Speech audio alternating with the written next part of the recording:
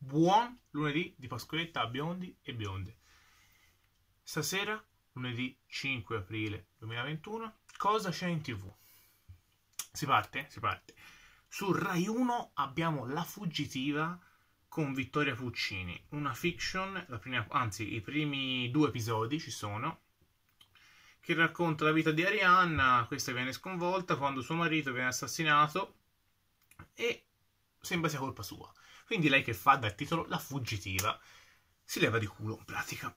E nulla, e non so di cosa parli, questo è in pratica il, la trama iniziale.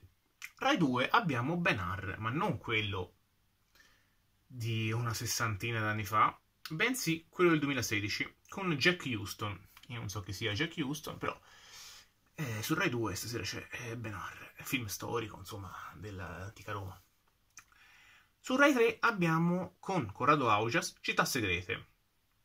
Stavolta rivediamo la puntata dedicata a Venezia, quindi andrà a Venezia anche um, grazie a, mi pare, immagini 3D, insomma, si sposterà fino a un certo punto Augias, anche perché ha 86 anni, quindi insomma, ebbe anche a casa lui dal punto di vista della sicurezza, però è un uomo di cultura, come pochi ce ne sono sicuramente in Italia, che sicuramente non vediamo sulle reti Mediaset, come Nicola Porro, che parlerà sicuramente sulla pandemia e sui vaccini. Quarta Repubblica di Nicola Porro. Non aggiungo altro. Come non aggiungo altro ancora con l'Isola dei Famosi. Nuova puntata, canale 5, 21 e 20, che dirvi? E niente di che. Su Italia 1 invece abbiamo eh, la terza puntata, non vorrei dire una cavolata, non li ho visti, dei Pirati dei Caraibi, la vendetta di Salazar, sempre un Johnny Depp con Javier Bardem, Italia 1 insomma. Diversamente, stavolta ho trovato il miglior programma, o meglio, il miglior film che vi posso consigliare su Sky Cinema 2, Cena tra amici, una commedia francese-belga del 2012. Eh, a cena della sorella, il quarantenne Vincent scherza sul nome che vuole dare al figlio che sta per nascere, così senza volerlo dà via una serie di equivoci e rivelazioni inaspettate. Parto da un presupposto che a me non piacciono tantissimo le commedie francesi, però ne ho viste alcune tra cui Se la vie, l'ho visto mi pare, il Capodanno quest'anno, che narrava la storia di un servizio di catering eh, durante un matrimonio, molto molto bellino, molto molto divertente. Vi consiglio questo perché le alternative sono fiacche, molto fiacche.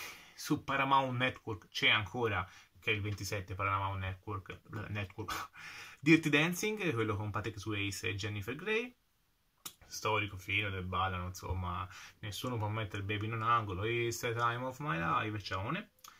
Diversamente c'è poca roba. Da cosa lo dico? Cine 34 non si ruba a casa dei ladri con Vincenzo Salemme. Mi fermo qui. Diversamente c'è eh, sul 9 Fuori in 60 secondi con Nicolas Cage e Angelina Jolie. Il problema qual è? È che le alternative sono poche. O meglio, eh, il film che ho visto io è eh, l'unico film che ho visto di quelli che ci sono stasera in televisione.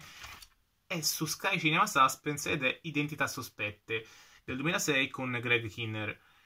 Eh, cinque uomini vittime di un sequestro si svegliano in un, in un, in, all'interno di un vecchio magazzino in disuso. Nessuno di loro ricorda la propria identità e perché sono finiti lì l'ho visto un po' confusionario alla fine non è tanto soddisfacente quindi non ve lo consiglio. Se no abbiamo su Sky Cinema 1 prima tv tornare a vincere con Ben Affleck. Quindi magari essendo un film nuovo potrebbe essere interessanti impegni sportivi non ce ne sono anche perché si è giocato sabato.